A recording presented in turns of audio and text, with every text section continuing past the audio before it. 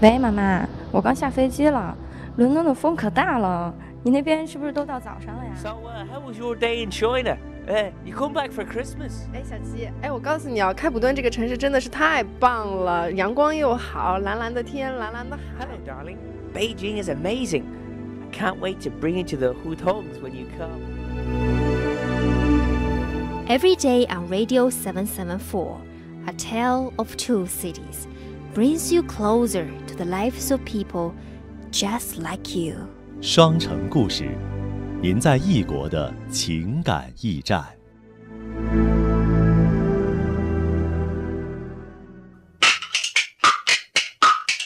欢迎大家准时收听这一期的双城故事，我是节目主持人 Jellico。我想大家听到这一曲快板一定非常纳闷了，为什么我们今天的节目用这曲快板来开始呢？当然，我们不是请到了一个快板大师来做客我们的节目，而是请到了一位来自美国的客人。采访前，他告诉我，他发现了中国的快板和美国的 hip hop 音乐有相似之处。你是不是觉得很有意思呢？那么，还是让我们赶快来认识一下这位来自美国的客人。So welcome to this edition of A Tale of Two Cities. I'm your host Jalico Chen. 欢迎大家来到这一期的双城故事，我是主持人 Jalico. So we have just played this kuaiban, right? And I believe the audience must be very curious why we start today's show with this Chinese kuaiban, actually by our artist called Liang Hou Ming. Of course, we we haven't invited Liang Hou Ming to our studio. Actually, we have a, a lady from Atlanta, America, uh, to our show. Oh. Hello, Rory. Hello. You'll probably will explain why we have to play this choir first, Rory, because you associate this with um, Atlanta spoken rap artists, right? That's Certainly. why we played this choir first. Well, the first time that I saw choir being played was May 1st of 2006. My neighborhood in Huilongguan. Mm, Huilongguan. They yeah. sponsored an outdoor music festival. Yeah. And a gentleman stood up and in my mind started to do freestyle hip hop rapping Okay. and he had these wooden blocks that he clacked together to keep Mhm. the beat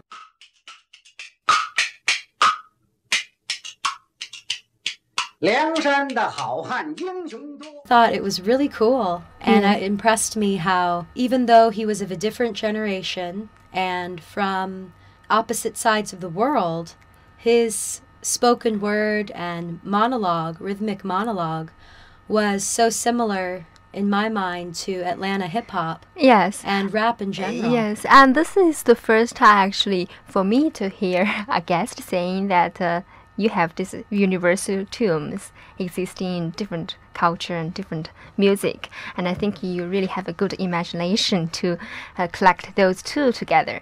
You know, listen back to the choir, or later we will listen to the hip pop music, mm-hmm. there is really a kind of a beat similar to each other, right? Yes. Okay. There's uh, certainly a universal rhythm. Universal rhythm，多么好的一个词语啊！Rory 建议我们以后的节目每一期都开辟这么一个小栏目，叫做 Universal Rhythms。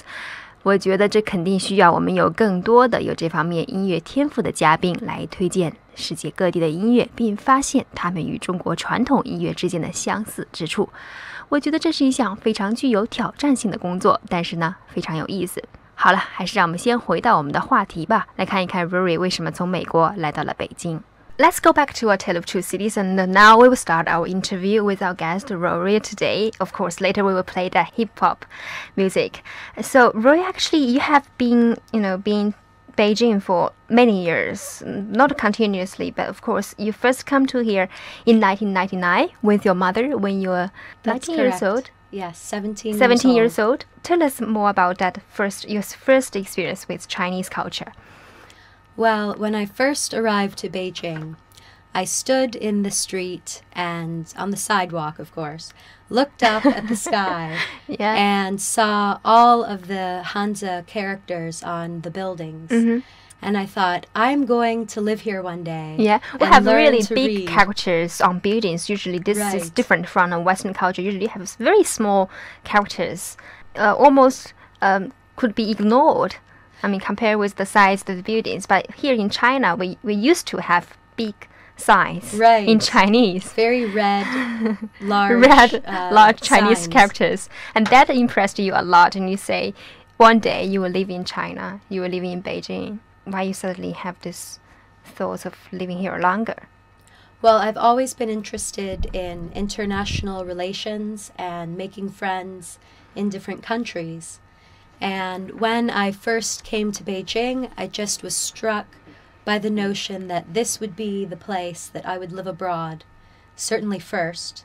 And I would like to understand the local culture so that I can represent my own home and be a bridge for friendship and understanding Mm. between the southeastern United States and China, Mm, so mm. s- specifically Beijing. Mm, mm. And I believe that the first trip with your mother was the starting point where you start this long journey of exploring Chinese culture and building this bridge between American and Chinese culture, right? Definitely. But that time you come with your mother, and um, why why she came first of all? She came for business. She was starting to represent a company called China Pro Tour, Mhm.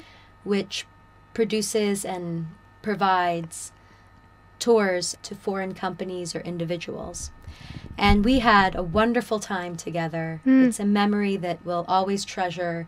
Just the two of us having an adventure Mm. abroad, seeing a culture, and appreciating all sorts of new food and Mm. music Mm. and style, fashion, and art forms Mm. uh, that we had never seen before. Do you still person. now sometimes review the photos you were taken at that time? Yes, Okay. definitely.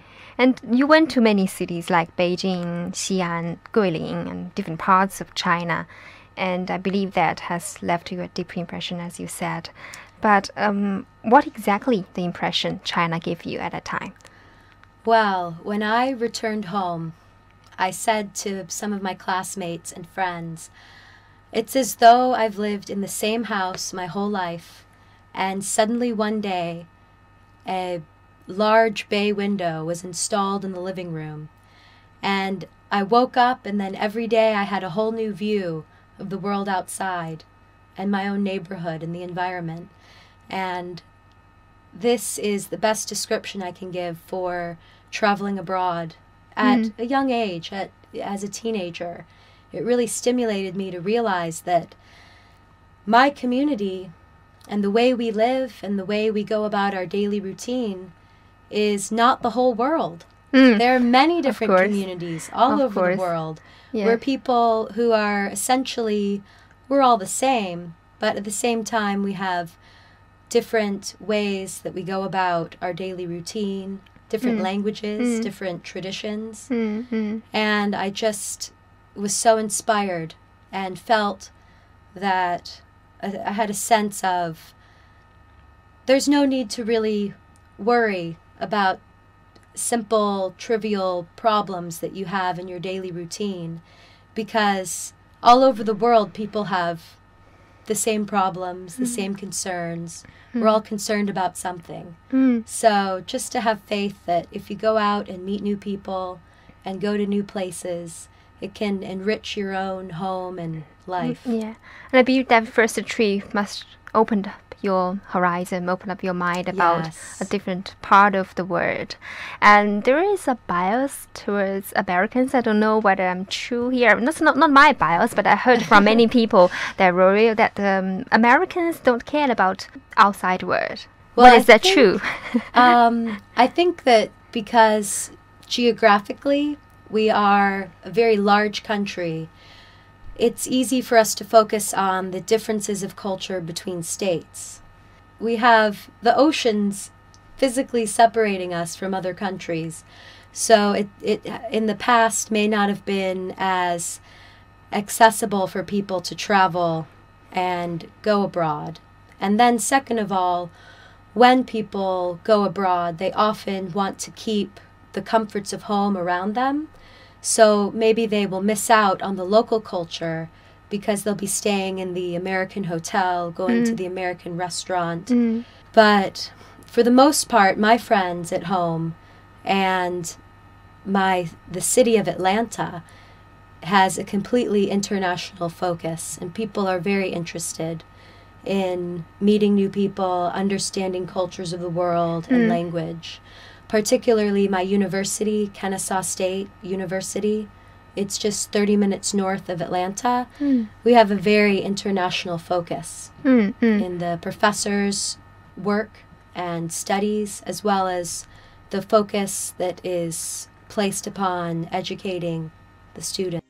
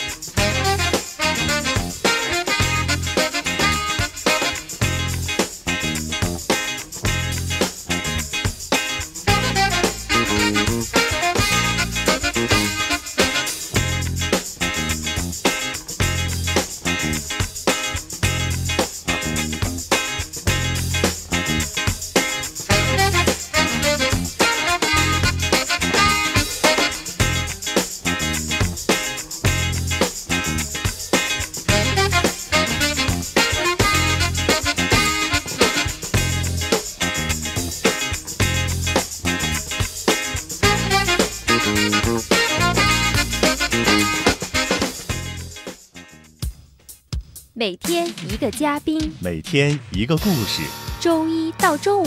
听国际人的双城故事。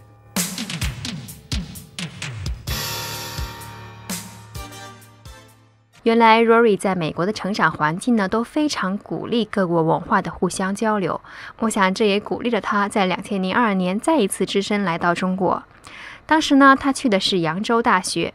在我的印象当中，扬州和北京是两个风格迥然不同的城市。让我们来看一下扬州给 Rory 留下了怎样的印象。I think that's also motivate you to come to China again in 2002 when you're working with Yangzhou, study with Yangzhou 大学, right?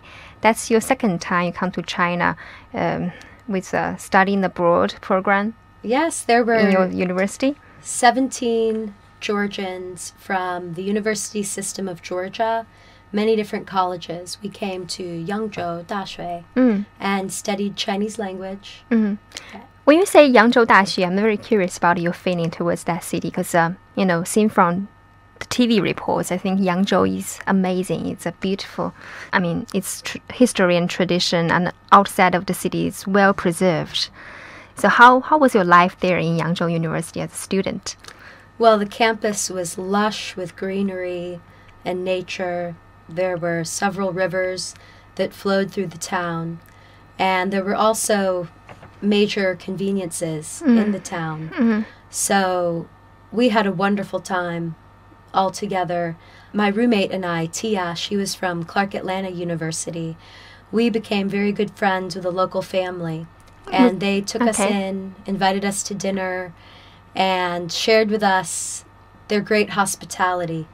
So not only was the university very generous and helpful, but also the community, local people were very interested in making new friends from abroad. Mm. What your study focused on at the time with the university?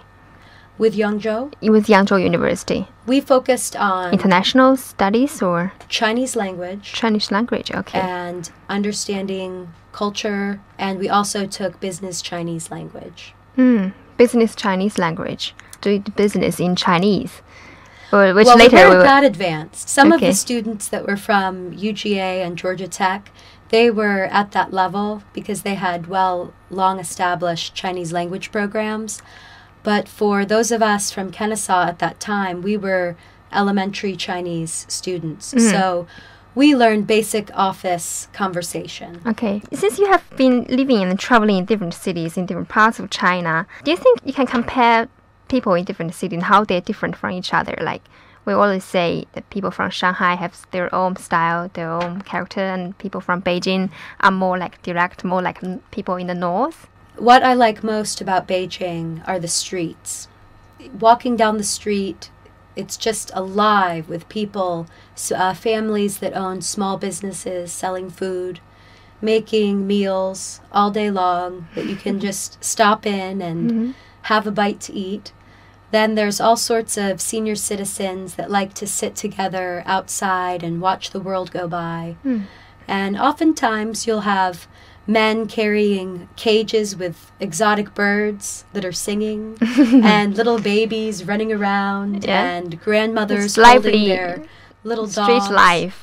there. Right, very lively. I think life. it's quite interesting to hear you say this. Not only you, actually, many guests have also expressed the same view. But as a Chinese, I feel interested to hear that because most Chinese prefer like, more polished street life, and you prefer this kind of uh, the kind of rawness of street life. yes. And why is that? I'm wondering. when you first Back at home, it's arrive- different, right? Yes, back at home it's different. In Atlanta, we tend to drive in our vehicles to get places. Hmm. And oftentimes you'll be in your car by yourself and driving through morning rush hour. Everyone tends to be in one vehicle. And you move together in a large mass, but you have hmm. plenty of space and not so much uh, connection between the people. People, yeah. And in Beijing, no matter what time of day or night that you step out onto the street, it's full of life and hustle and bustle. Since foreigners oftentimes were not very excelled at speaking Chinese, and maybe we haven't met a lot of people yet, but we can have a connection with people by just looking into their eyes and maybe saying hello, simple things, watching what they're doing. It's very comforting. Should we have a little break here, Rory, and listen back to the music we mentioned earlier? That hip hop music from Atlanta. Actually, it's a African band, right? There's a band, uh, they're a musical group called Outkast. They're uh, Andre Benjamin 3000 and Big Boi are the pseudonyms of these two artists. Uh, Andre is from Atlanta, Big Boi was born in Savannah. They are hip hop artists uh, that do rhythmic spoken word and they're very interested in percussion. Their style tends to be uh, thinking outside of the box Mm. and using their imagination. Actually, the song we're going to hear is is like it's a Christmas song, right? But they did in a different style. As Rory will explain more. Scene was so thick. Low riders, 77 Sevilles, L nothing but them blacks.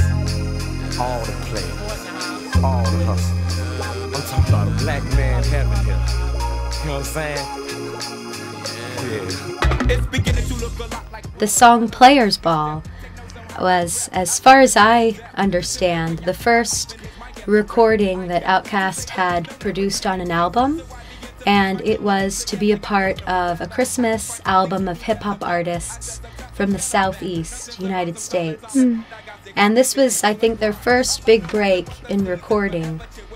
And they were so creative. They didn't just simply sing jingle bells in a hip hop hmm. style. They actually created their own story expressing what it's like in their neighborhoods at Christmas time. Hmm. And they did it in a very fresh and fun, uh, sincere, and meaningful way.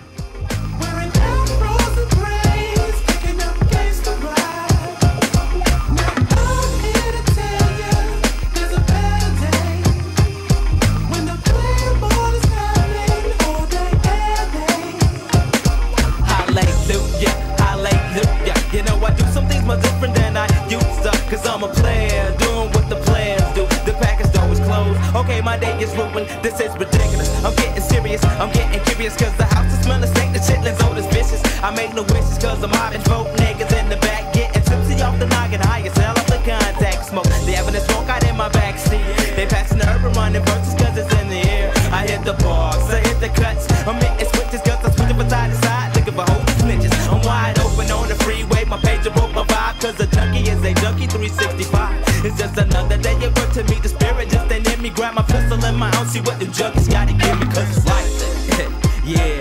Forever pimping, never slipping. That's how it is.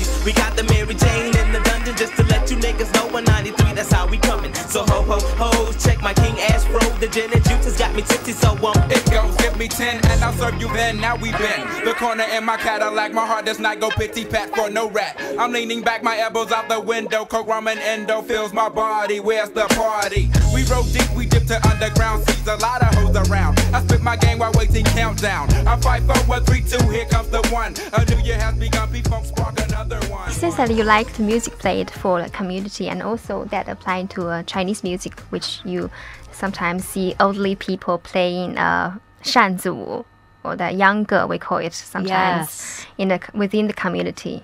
That Right. is my favorite.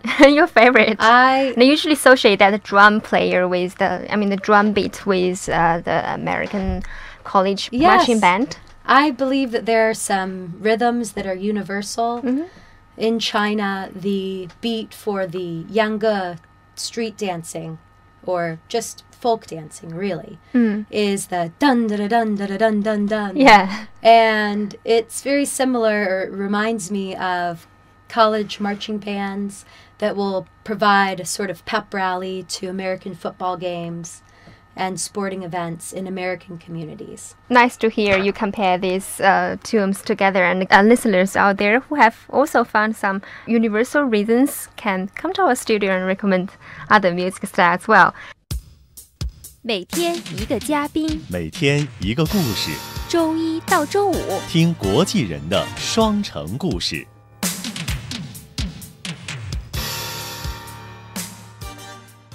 去年年初，Rory 已经从大学毕业，并且有了一定的工作经验。那么他再一次来到了北京，相信这一次北京能给他一个更大的舞台，发挥他的聪明才智。In 2006, actually, just right after the uh, Spring Festival, you came back to Beijing, this time for work, mainly, I believe, and you graduated at the time from the university. I believe you also had some working experience back at home. as well. Certainly, Yeah. yes. That's what I liked so much about attending Kennesaw State is that it was very close to Atlanta itself. So I was able to have professional working experience through college that has certainly helped me in finding new jobs and being more skillful and capable here in Beijing. I also worked uh, as a receptionist and administrative assistant in the commercial real estate market. Uh, the company CarrAmerica Realty was uh, had a a base in Atlanta at that time. So I worked there and got to learn a lot from the professionals there.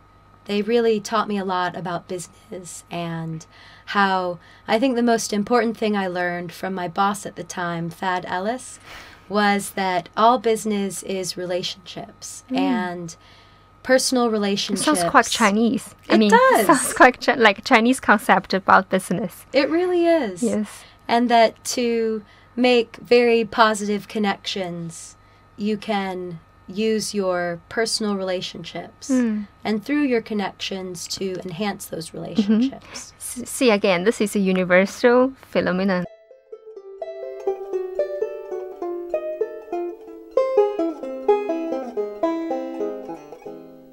Now, the music you are listening is actually created by American artist who spent five years in Beijing and sing Chinese traditional songs in her own style, and Rory happened to in one of her concert in Beida University. So tell us more about your contact with that uh, artist. Well, it was a real treat. Abigail Washburn, she is an American that lived in China for I think over five years. She speaks Chinese fluently, and during her time living here, she was very moved and inspired by Chinese uh, traditional folk music from all around China. Different, the many different ethnic groups, uh, ways of expression and art. She also is uh, very moved by the southern bluegrass and country music and folk music from Back in the United States, southeastern yeah. United States. So she said at her concert at Beida that she was about to go uh, study law, and then she just decided, hey, I'm going to be a folk music artist. and she ended up being very successful and brings very creative and meaningful new uh, art form to audiences all around the world. And it's also very exciting to see she has added some Chinese element into the music, right? Yes, she was very sincere in her Chinese studies in that she learned not only how to speak, but how to sing Chinese traditional music. And at her performance at Beida last year, there were many, uh, it was mainly Chinese students in the audience and uh, also adults and professionals. All around, you could feel the great emotion when she would sing a very popular traditional song. Everyone was touched that here, this foreign person had a great appreciation and respect for something that is their own self expression, Mm, their hometown, yeah. their ways. Yeah. It's another example of universal rhythms and also the way that music touches people Mm, yeah. and can make people feel Yeah. welcome. Yeah, as we say, the music is the universal language for humankind. Right. It sounds too big. I know, maybe that in mathematics. and thank you, Rory, for bringing this CD and sharing with the audience. I mean, this CD is brought by Rory after the concert, right? Yes, I did. Okay, I thank couldn't you for afford this. the large one, but this one's good enough. Okay, let's listen to the music together.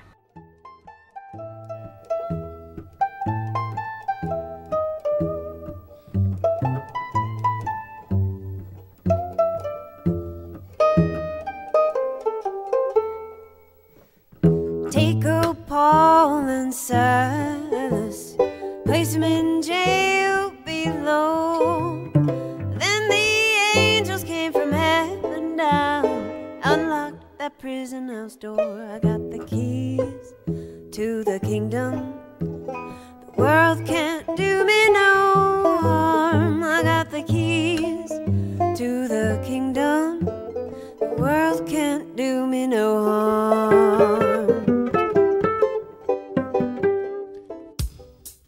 每天一个嘉宾，每天一个故事，周一到周五听国际人的双城故事。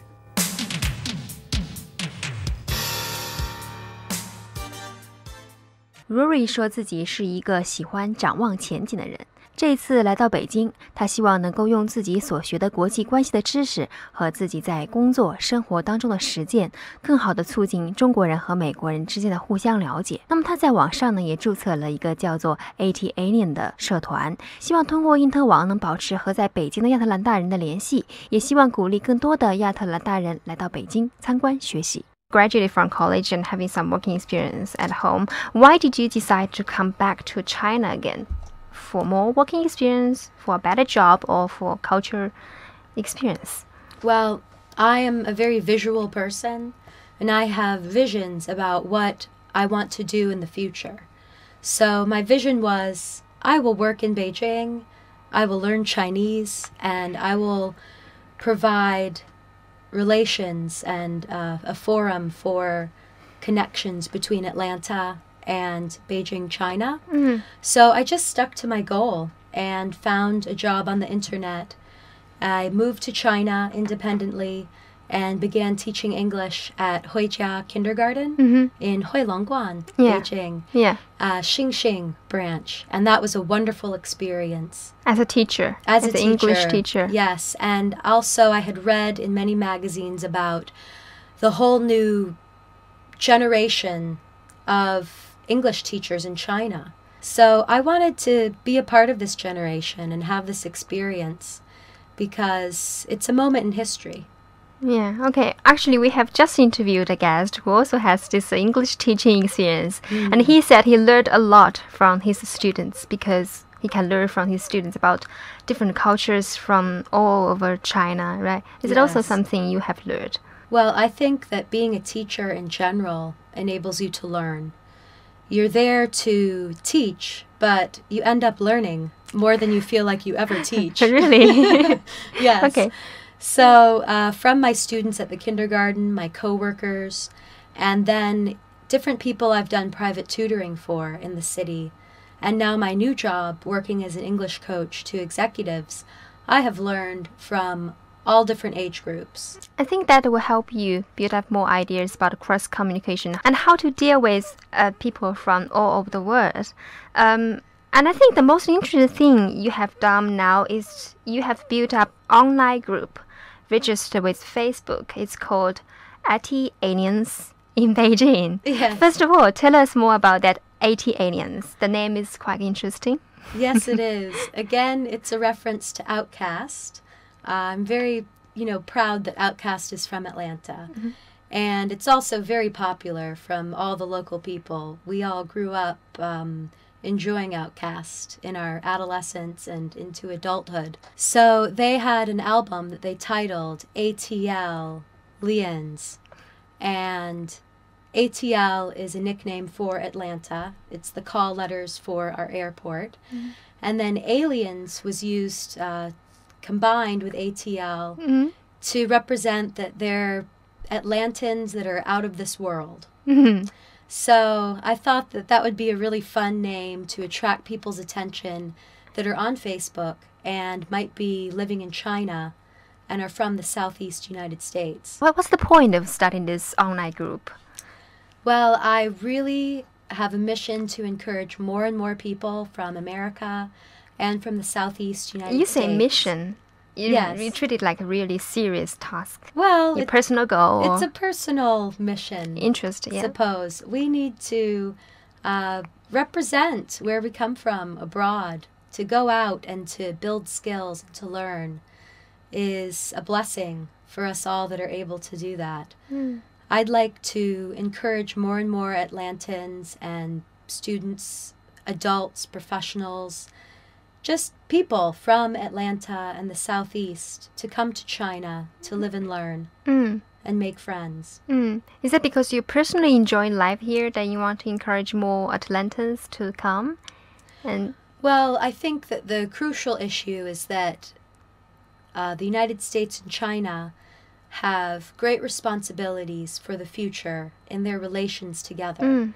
and that Americans will be better prepared for the tasks we have ahead of us if we have this true uh, living abroad experience. Mm. And I think that it's a way to cheer on my community and challenge people to come to learn so that we can all be more capable as professionals in, into adulthood. starting from personal contacts, starting from your personal living abroad experience, right? Right. Is there someone, you know, um, persuaded by you and actually came to China to experience? Well, I have had some friends that have expressed interest in moving here as well. Mm-hmm. Uh, they have yet to actually come, but I have lots of friends that have come to visit or will come visit. Mm. And the best part, too, is that my friends at home that I didn't really know had much interest in China itself or in different countries, when I would go home to visit, they had all sorts of great questions to ask me. Mm, about China So just about your simply by uh, talking with them and sharing stories, I can educate in a way. And the first time actually I saw these ATLiens in Beijing, I thought you just try to solve problems among mm, Atlantans in Beijing. I mean, just help them solve like daily problems living as an expatriate here. Or sometimes you organize um, gathering, like weekly or monthly gathering together. started it to be a support group for people that are living abroad that are from the southeast because we have a similar experience similar way of speaking culture and uh, appreciation for music. It's very similar. Yeah. so i thought let's get connected in the virtual world so that maybe we can meet in person. And if there are people that are interested in coming to China that are on Facebook and see this group, then they can contact me or other group members for advice or uh, recommendations of good places to live and work.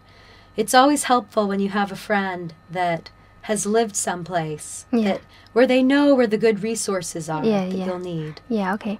Let me ask a question here. And do you think there is some universal problems among Atlantans here living in Beijing? there are challenges that Yeah. are certainly universal to the foreigners that live in China. Mhm.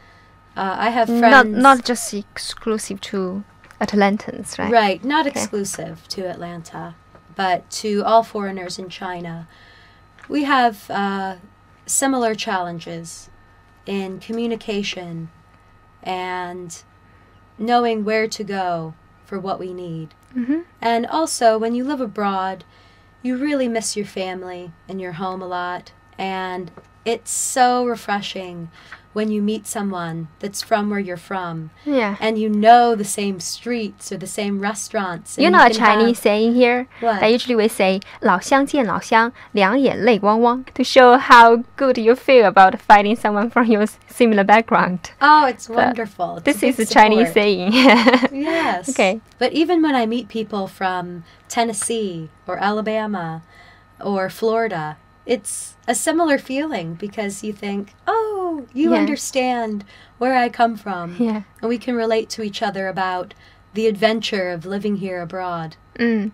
But do you think sometimes spending too much time with people from your same background reduce your chance to to know more about Chinese culture, to build up the courage to explore Right. something different? Well, it's important uh, for being a foreigner in China not to get lost in the expatriate community. Mm. It's very tempting because there's all sorts of very fascinating people that you can meet from all over the world.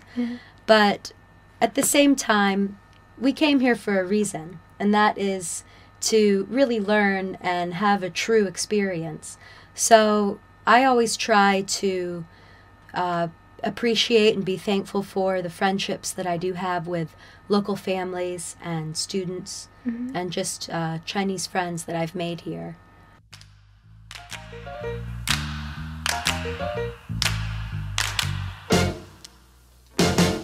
Sweeter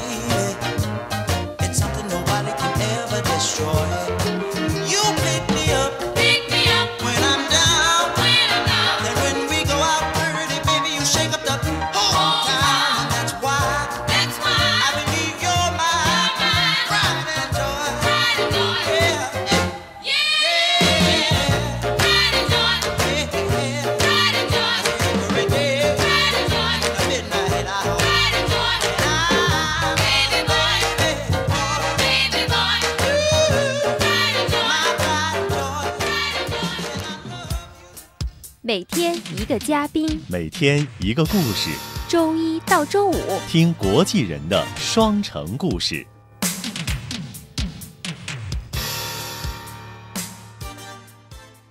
Rory 的专业背景一直和国际关系有关，研究跨文化交流也一直是他的兴趣所在。那么现在在北京，他无时无刻不在亲身体验着各种文化的交织与碰撞。那么 Rory 在这种环境下，又对文化交流有哪些新的看法呢？So after this music, let's go back again to our talk with our guest Rory. And uh, this time, I think I will focus more on your perspective on cross cultural communication, especially in the business sector.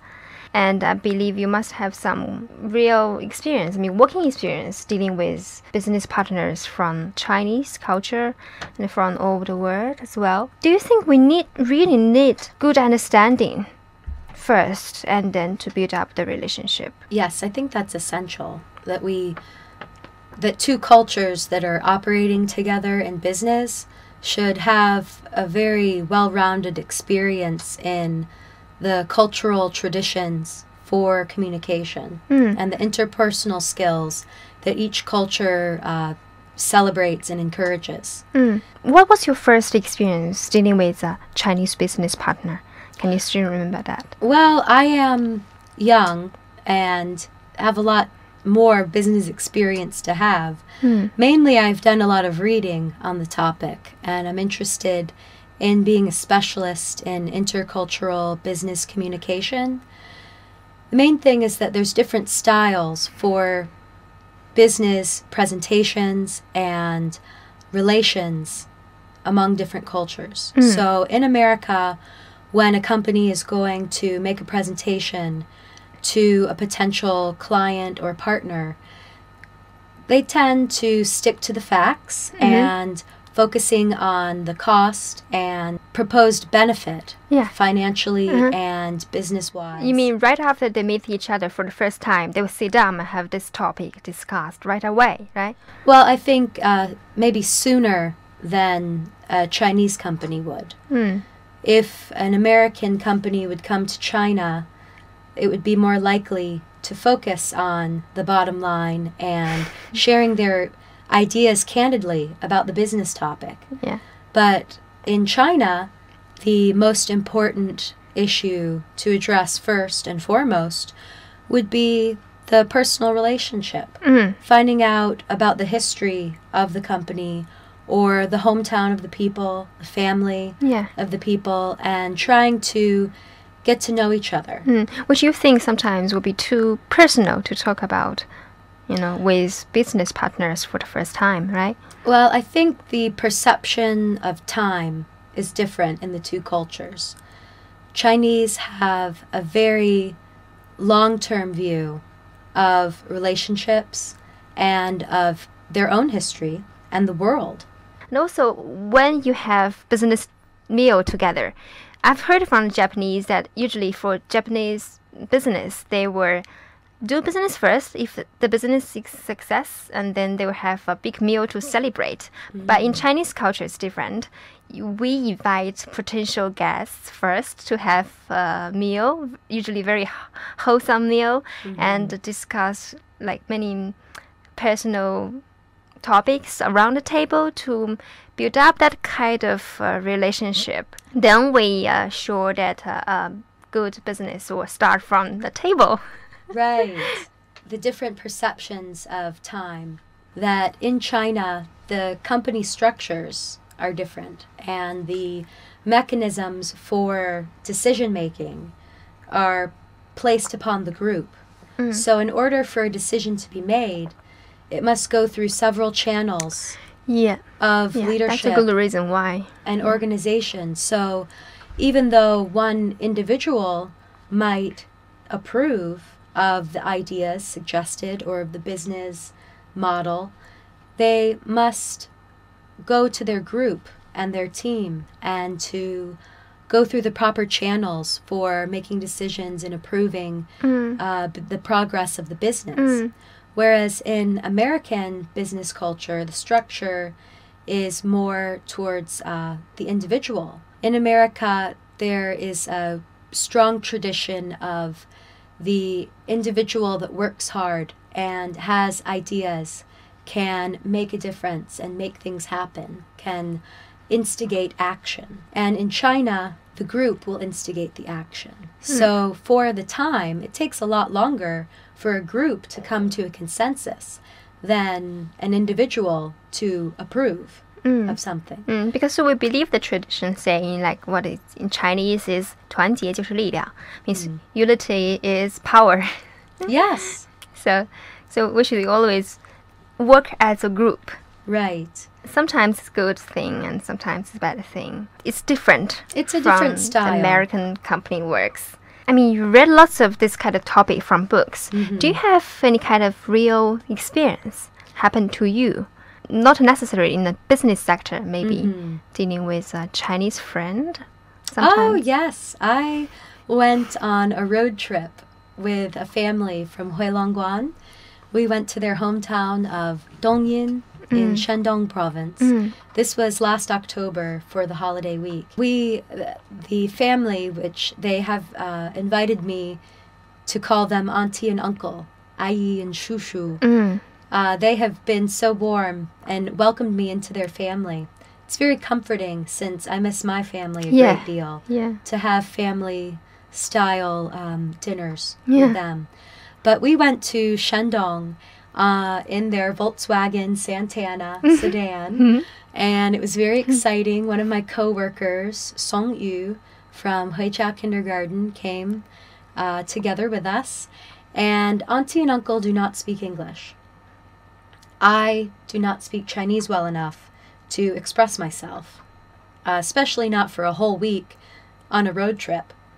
So I think that that was very rich in experience as far as I was in this group and they welcomed me to meet their whole entire family and to have many dinners with people who they informed me were great leaders of the Shandong area. Huh. And it was a great honor. Hmm. And just simple uh, dining etiquette, trying new foods, and being taken care of at the same time Mhm. by a family as I tried all sorts of new foods and drinks that were extremely exotic to me, Mhm. things I had never seen before. Mhm.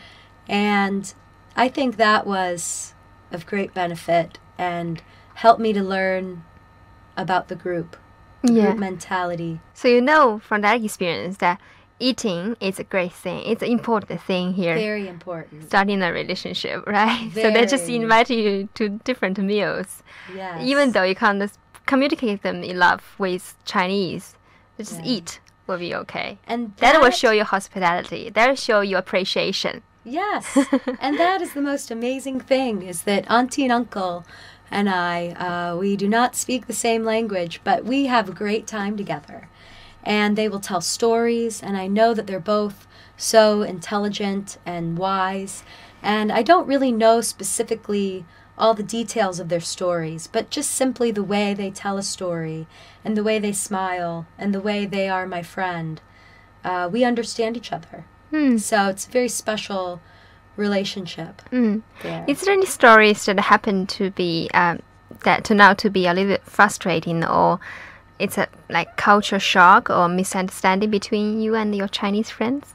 I would say that it's not so much in this family where there have been problems. It was more in my daily routine in life when I need to go get something done that is a daily life necessity, like getting a haircut or buying a pair of new shoes or doing paperwork to maintain my visa status and different official document paperwork things I need to do. Mhm. Uh, it's not enough just to go once to get it done.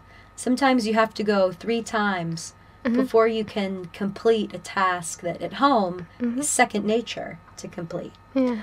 But I think as far as frustrations or misunderstanding with uh, in family dining situations or friendships, it would be the uncertainty that I would have from feeling clueless, the feeling that I don't know where we're going or what we're about to do, but we're going to be together all day long.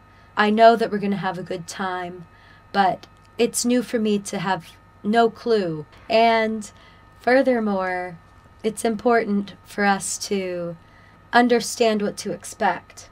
But oftentimes, when you can't communicate, you feel a sense that how can I even express my great appreciation or a question that I have, a concern that I have? If I can't speak the language, then I I can't fully express myself. And that's a challenge, but it also was a great experience for me because I'm always uh, very talkative. and so it was a challenge for me to not be able to use uh, my natural way of speaking Yeah. or uh, you know my personality would be expressed by nonverbal communication or That's a skill, song. maybe turned out to be a skill you learned Right. in living abroad. right Just to express your personality using nonverbal expression. right Yeah. and to also understand another person's personality through nonverbal expression it's really a challenge it's an adventure Like many guests says that um, living in China is like challenging every day. It's They change every day. So, some do you sometimes discuss that kind of problems with people from similar backgrounds online? I mean, do you post these problems on uh, ATLiens? And Yes, well, that has um, recently started, and we're still looking to expand the membership base. Hopefully, people will hear about it and join. But I think that just by email, email's a great asset to those of us today that are abroad to communicate with our friends that have moved back home or that have stayed at home the whole time. Mm. It's just great to be able to have heart to heart chats uh, virtually through email and Mm. other online sources. Okay. It's comforting. Thank you, Rory, for coming to this program. Let me ask you the last question. Now, what do you think you benefit most from your life living abroad, living in China, of course? I have the opportunity to build my skills uh, as a professional and as an individual in the globalized world of today. I have met people from all over the world, and I think the part that I like most is that the world map and world geography has come alive and become very personal to me because when I make a new friend, a line of borders on a map that represents a friend or a personality or a Mhm. memory. Yeah. And so the whole map of the world becomes much more personal Mm. by living here in Beijing Mm. and making friends. Mm. And as well as being from Atlanta, we are a very international city. And I grew up with many friends from different countries. So I think that living in these types of environments is very rewarding. Mm. I think that's also one of the beauty to be an expat here in Beijing, right? Mm. Any other thing that you think will leave you a good memory? I think the challenge to take care of myself abroad, living independently, and to provide a way for myself. I, I think the most amazing thing I've learned is that wherever I go, there I am. At first, I came, I didn't know anyone. Yeah. And at home, if I am walking down the street, I'll always run into someone I know. But now, after 18 months, I have the similar experience where, oh, hey, how you doing? Yeah. To the to the people I know Mm. and my friends. Mm. So I think that is very uh, a, a great benefit to living abroad is you get to learn who am I and what am I here to do? What can I do? Mm. Okay, and that's probably a more like psychological development you have had here in Beijing. Okay, so thank you, Rory, for coming into A Tale of Two Cities and sharing with us interesting experience in many cities, right, in China, and also some of your views on intercultural business communication.